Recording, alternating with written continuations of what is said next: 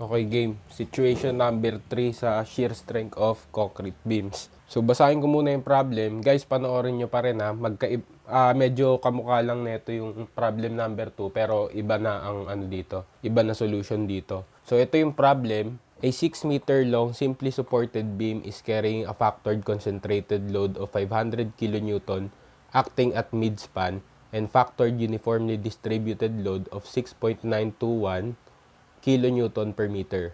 The beam is 300 mm wide and has a total depth of 700 mm. It is reinforced at the bottom side with 332 mm diameter bars. Compressive strength of concrete is 27.6 MPa. Tensile strength of bars is 276 MPa. And steel covering up to tensile reinforcement is 70 mm. So question, A. Shear strength provided by the concrete using detailed calculation. So, detailed na. Tapos, question B, spacing of stirrups if the diameter of the stirrups is 10 mm.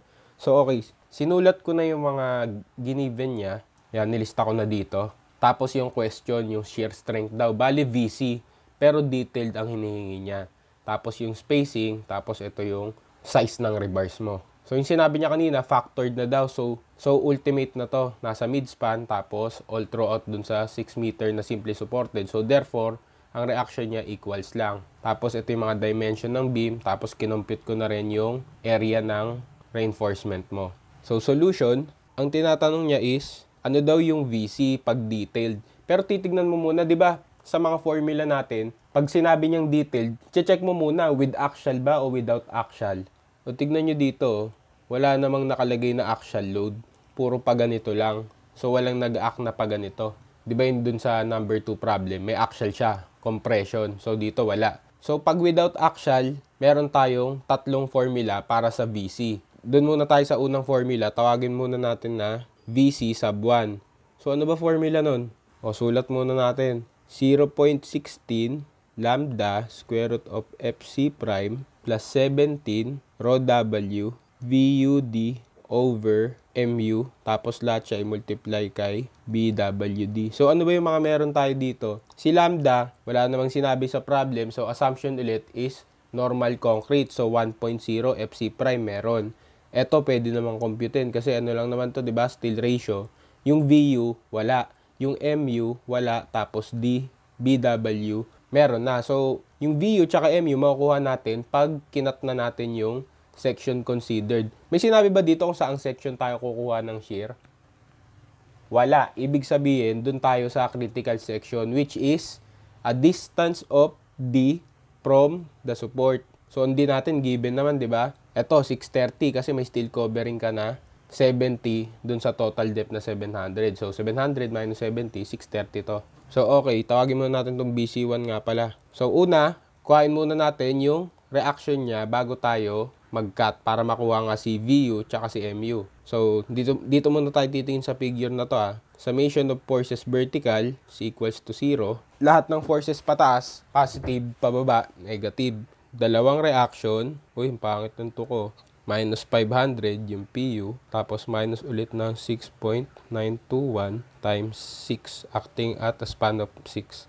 So, R makukuha na 270 0.763 kilonewton. Pangit rin nung kay ko ah. Bagong gising kasi guys eh. So okay, steel ratio naman. Rho W is equals to AS over BD. Oy, may W dito. Ibig sabihin lalagyan akong W din. So wala rin naman yan. Para lang malinis yung solution. Para mas maintindihan.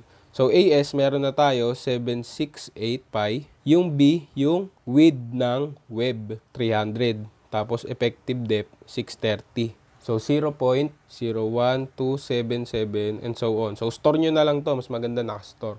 So, si BU na lang, tsaka yung langgam, joke lang, si BU na lang, tsaka yung MU yung wala. So, cut muna natin sa section. So, drawing ko muna para mas maintindihan dito sa bandang kanan. Ngari, ito yung beam. O, ito yung reaction na, ito ah, pagkakata ko dito ah, 270.763. So, cut. Tapos, makikita natin yung uniformly distributed dito na 6.921 kN per meter. Tapos ang distance natin 0.63 lang kasi yung 630 ginawa nating meter. So lalabas na rin dito yung MU Tapos, lalabas din yung VU kasi nga, kinat mo na, mga internal forces. So, summation of moment muna tayo dito para makuha natin yung MU. So, summation of moment at cutting plane is equals to 0. Lahat ng counterclockwise negative, lahat ng clockwise is positive. So, negative MU tapos ito, 270 tapos distance galing dito is 0.63 plus 270.763 multiplied kay 0.63. So minus, so at dito ah, 'di ba? Counterclockwise na tong 6.921 yung distributive.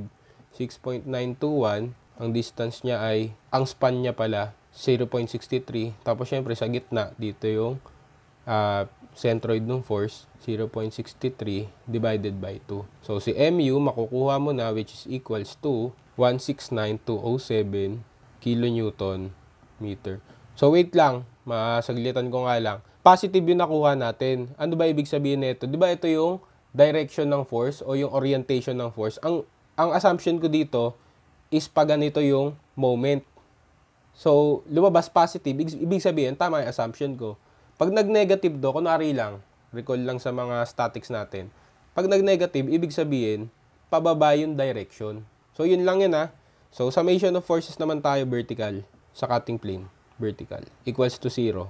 So, yung mga pababa, negative. 0, uh, negative 6.921 at a distance of 0.63 plus 270. 270.763 minus VU. O assumption ko lang, pababa yung VU natin. Ano kaya lalabas? Positive o negative? Ang lumabas ay 266.403 na positive kilonewton. So, ibig sabihin ulit, tama yung assumption, pag ganun yung VU. Tignan nyo, ang dami natin pinagagagawa. Uh, finifill up pa lang natin pala yung mga uh, ipapasok natin dito sa formula. So, VC1, substitute na natin yung mga value na meron tayo. 0.16. So, lambda uh, times 1.0 multiplied kay 27.6 plus 17. Yung raw W is 0.01277. VU is 266. 266. Tinitingnan ko kung pantay sa camera eh. 403 times 0.63 all over MU na 169.207. Tapos lahat sila, ay parang hindi magulo gawin natin parang bracket type to. Oh, lahat sila multiply kay BWD. So, 300 times 630. So, wait lang. May sinabi pa dun sa code. Pag ginamit mo daw yung formula na to, yung VUD over MU should be less than or equal than 1.0. So, ano ba? Natutupad niya ba to? So, substitute muna natin. 266. Actually, ito din yun eh. Sige, sulat ko na lang din para dire-diretsong ano lang. 266 times 0.63 over MU. So guys, take note dito sa ano nito ah, 169.207 less than or equal ba sa 1.0. So take note dito ah, tignan niyo yung MU, kilonewton meter. So dapat ito ring VUD nyo, kilonewton meter kasi magiging parang ratio ang ano nito eh, unitless siya. So ang value nito ay 0.99188. Oh, basta ganon. Oh, less than less than siya sa 1.0. So, okay. Gamitin natin yung formula na to. So, wait lang. Dun sa tatlong formula rin pala, di ba? VC1, VC2, tsaka VC3. Tapos, pipili ka ng pinakamaliit na value. Yun yung gagamitin mo bago mo computein yung spacing. Mamaya, paliwanag natin lalo. So, okay. Computein nyo na tong VC1. Ang lalabas ay VC1 is equals to 199.552 kilonewton.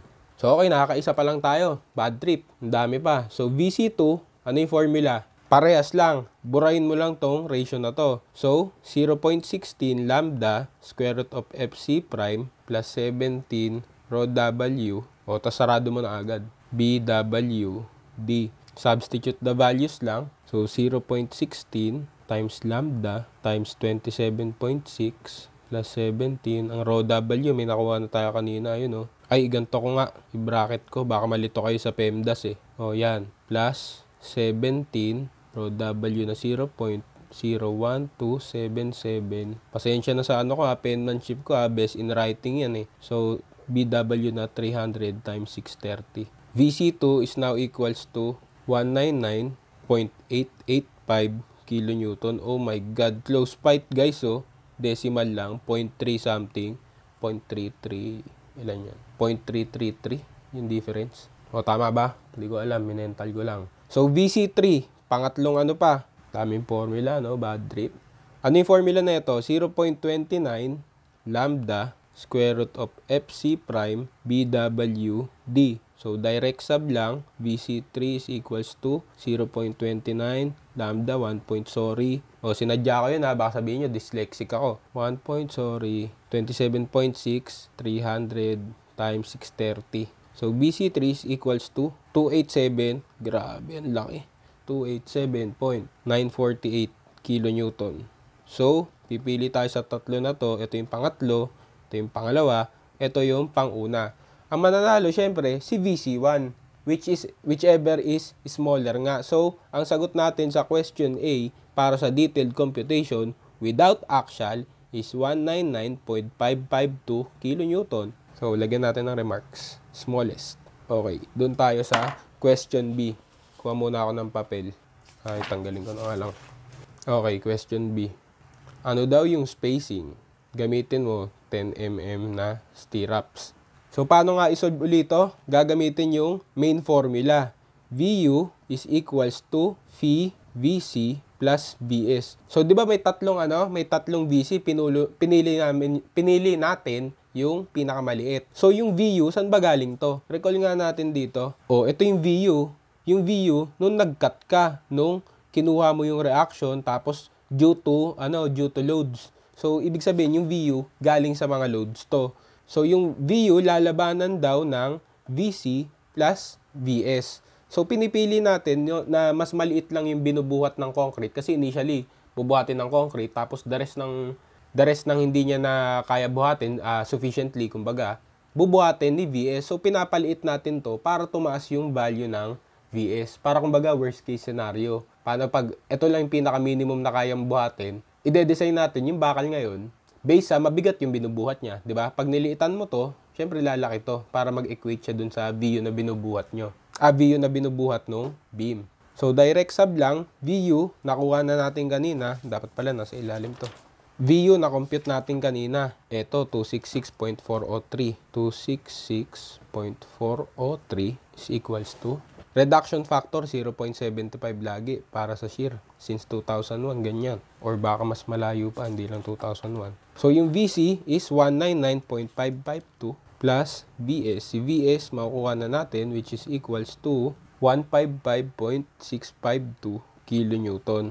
So okay, pwede natin makompute yung spacing pero hindi ko gagamitin yung formula kasi ang ginagamit ko lagi is stress is equals to force over area pinaka-basic ng strength of materials. So yung phi natin is yung ah yung phi yung ano ba to sigma natin is yung stress sa steel which is yung Fy yung yielding. Fy is 276. 276 equal sa force na ang bubuhatin niya ito. Since naka MPa to or Newton over mm squared. So, naka Newton over mm squared din yung gagamitin natin sa force over area. So, 155,652 naka Newton. Tapos ang area is yung area nung stirrups. Pero kung titignan natin dito, wala namang sinabi. Di ba lumalaban dyan yung pag kunwari nasa ilalim ka tapos titignan mo yung dalawang stirrups. So, ang assumption is two-legged stirrups lang yung nakalagay dito kasi hindi ginibin. So, dalawang pi r squared. So, 10 over 2 squared. Tapos, d over s. So, saan nakuha to? Panoorin nyo yung introduction, yung basics. Dinerive ko yung formula. Uh, galing dito, dinerive ko to. Hindi ko naman dinerive. Pina, pinaliwanag ko lang. Yung S, hindi natin alam. Yung D, meron tayo. 630. So, direct sub na lang to. Tapos, shape solve nyo. Hindi nyo kaya shape solve. Basic ano lang naman to. Algebraic manipulation. So, S na makukuha nyo is equals to 175, 475. Sasamid pa ako ah. So, okay na. Yan na yun. So, wait lang. Babox mo na ba yan? Hindi pa. Check mo muna yung S max dun sa code. Sabi sa code, yung VS daw pagbabanggain mo sa value ng 0.33 square root of FC prime BWD. So, ano ba to? Ano ba yung value na to? Parang reference lang kasi to actually. So, yung BS, ito yung binubuhat ng stirrups mo, yung actual na papabuhat mo sa kanya. Kasi kinumpute mo nga, ito yung, B, yung BS, oh, oy, compute mo to. Ay, sabi niya, oy, ano, buhati mo tong 155.652. So, sulat natin, 155.652 versus yung 0.33, o compute natin yung ano, i-substitute natin yung mga value, tas 300 by 630 yung BWD. So, copy, 155.652. Value nito magiging 327.665 kilonewton. So, tignan nyo, less than. Mas malaki to. Mas malaki yung kumbaga, ah, parang quote lang ah, ah, yung reference. Yung reference value, o yung bubuhatin mo, ang liit-liit lang naman, less than lang siya dun sa reference value. Therefore, hindi delikado yan, liit lang eh. Yung S-max mo, pwede mo paghiwa-hiwalayin ngayon. So, yung S-max is equals to D over 2 or 600. So, D is 630, tapos equals to sa 315 or 600. So, choosing the smallest, 600 ba o 315 o 175? Kasi syempre doon pa rin tayo sa mas masinsin. Sabi sa computation mo, based dun sa loads, sabi na pinabuhat mo, 175. Huwag ka na daw lalagpas ng 175 kasi mas masinsin, mas safe. So actually, 175.475, malamang ang nakalagay dyan sa choices is 175 mm. Yan ang spacing mo sa critical section. So wag niyong gagawing 180 kasi paluwag na 'yon, 'di ba? Sa 175 point uh, kunwari ito mismo yung uh, 175.475. Sinsinan mo konti sa 175, yan safe yan kasi mas malalapit sila. eh. So, yung 175.475 pag ginawa mo namang 180 o palagpas ka na, niluwagan mo masyado yung stirrups, hindi mo masyado. Pero actually, parang theoretical lang naman. Ah, so, ang magiging sagot dyan is 175. So, pasensya na, inabot na ng siyam-siyam. Inabot na ng Pasko yung problem number 3. So, yun lang. Thank you sa panonood. Sige, maghahanap pa ako ng ibang topic na pwedeng i-discuss.